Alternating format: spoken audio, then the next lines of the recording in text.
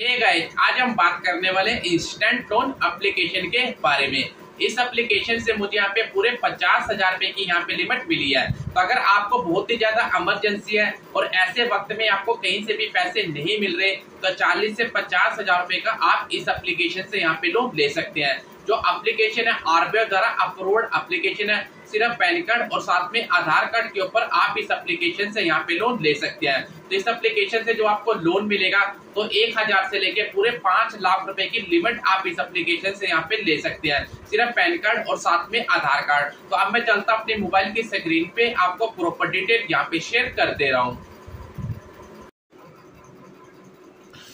तो सबसे पहले आप यहाँ पे देख सकते हैं चेक एलिजिबिलिटी को आपको चेक करना accept your approved offer to get instant cash और सबसे पहले आपको यहाँ पे अपने मोबाइल नंबर को यहाँ पे एंटर करना है. तो मोबाइल नंबर को एंटर करने के बाद आपको यहाँ पे ओटीपी को सबमिट करना है, उसके बाद आपको परमिशन को यहाँ पे अलाउ करना है. तो सारी परमिशन को आपको यहाँ पे अलाउ करना है, उसके बाद आपको फ़र्स्ट नेम उसके बाद लास्ट नेम को यहाँ पे आपको मैंशन करना है. तो जैसे आप मैंशन करेंगे, उसके बाद आपको वेरीफाई यूर पैन नंबर को यहाँ पे मैंशन करना है, उसके बाद आपको डेट ऑफ़ बर्थ को यहाँ पे सबमिट करना है. तो उसके बाद नेक्स्ट वाले ऑप्शन पे सबमिट करने के बाद आपको साइन अप वाले ऑप्शन पे क्लिक करके आपके जीमेल पे यहाँ पे ओटीपी आएगा ओटीपी आने के बाद उसको यहाँ पे सबमिट करना है तो आपको यहाँ पे सैलरी वाले ऑप्शन पे ही टैप करना है तो ही आपको यहाँ पे लोन मिल जाएगा उसके बाद आपको यहाँ पे रिकवर वाले ऑप्शन पर आपको टैप करना है तो यहाँ पे आपको यहाँ पे तीन ऑप्शन मिलेंगे यहाँ पे आपको मंथली इनकम वर्क ई और यहाँ पे आपको नेम आपको यहाँ पे सबमिट करना पड़ेगा तो यहाँ पे सबसे पहले आपको यहाँ पे चेक करना है कि आप यहाँ पे काम क्या करते हो तो आपको वो सिलेक्ट करना है उसके बाद आपको फिर से नेक्स्ट ऑप्शन पे टैप करके आपकी जो जितनी भी लोकेशन है यहाँ पे शो कर दी जाएगी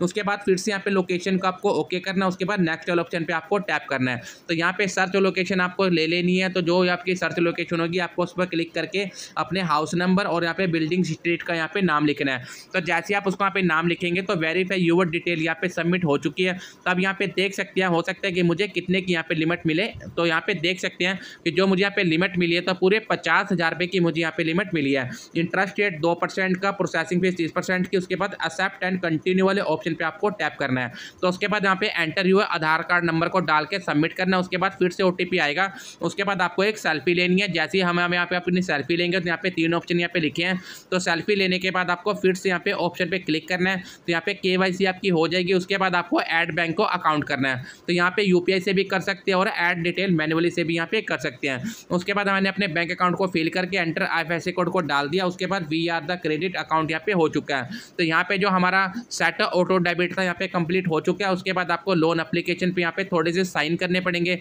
जो भी आपको साइन करके आपको सबमिट वाले ऑप्शन पर टैप करना है। तो फिर से आपको नेक्स्ट वाले ऑप्शन पर यहाँ पे टैप करना है। उसके बाद आप देख सकते हैं